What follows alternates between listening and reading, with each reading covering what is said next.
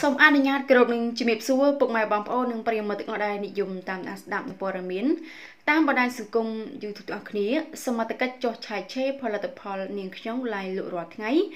សង្ស័យថាជាផលិតផលคล้ายៗភ្នំពេញគណៈកម្មការប្រយុទ្ធប្រឆាំងផលិតផលคล้ายៗបានចុះប្រតិបត្តិការបង្ក្រាបកាលពីម៉ោង10:30នាទីព្រឹកថ្ងៃទី8ខែមករាឆ្នាំ2020ដោយមានការចូលរួមសហការពីអាជ្ញាធរនិងសមត្ថកិច្ចខណ្ឌទូគោកផងដែរ ហើយទីតាំងដែលសមត្ថកិច្ចចុះឆាយឆេររុករកខាងលើនោះស្ថិតនៅផ្ទះលេខ58សេតផ្លូវលេខ134សង្កាត់ផ្សារដេប៉ូ3ខណ្ឌទូគោកនិងទីតាំងទី2ស្ថិតនៅផ្ទះលេខសាចាស់ផ្ទះលេខ 50Z ផ្លូវលេខ134សង្កាត់ផ្សារដេប៉ូ2ខណ្ឌទូគោកដែលមានម្ចាស់ឈ្មោះយ៉ាងផាណាភេទប្រុសអាយុ26ឆ្នាំ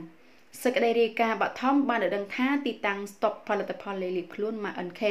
ត្រូវបានកម្លាំងនគរបាលគណៈកម្មការប្រយុទ្ធប្រឆាំងផលិតផលคล้ายៗដែលមានហានិភ័យខ្ពស់ដល់សុខភាពនិងសុវត្ថិភាពសង្គមនៃក្រសួងមហាផ្ទៃ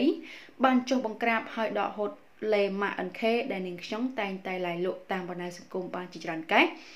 ដែលសង្ស័យថាជាផលិតផលคล้ายៗ ជាលទ្ធផលសមត្ថកិច្ចបានរកឃើញផលិតផលគ្រឿងសម្អាងម៉ា NK ជាច្រើនមុខបន្ទាប់ពីធ្វើការត្រួតពិនិត្យសមត្ថកិច្ចក៏បានធ្វើការដកហូតផលិតផលមួយចំនួនធំទៅធ្វើការត្រួតពិនិត្យនៅក្រសួងមហាផ្ទៃនិងណែនាំឲ្យម្ចាស់ទីតាំងទៅទីស្នាក់ការដើម្បីសាកសួរផងដែរពាក់ព័ន្ធករណីខាងលើយើងមិនអាចសុំការបំភ្លឺពីម្ចាស់ទីតាំងខាងលើបានទេដោយសារម្ចាស់ទីតាំងមិនសហការជាមួយអ្នកសារព័ត៌មាន ចា៎នេះគឺជាអត្ថបទព័ត៌មានមួយដែលតាក់ទងទៅនឹងសមត្ថកិច្ចចុះឆែកឆេរផលិតផលនាងខ្ញុំឡាយលក់រាល់ថ្ងៃសង្ស័យថាជាផលិតផលคล้ายៗ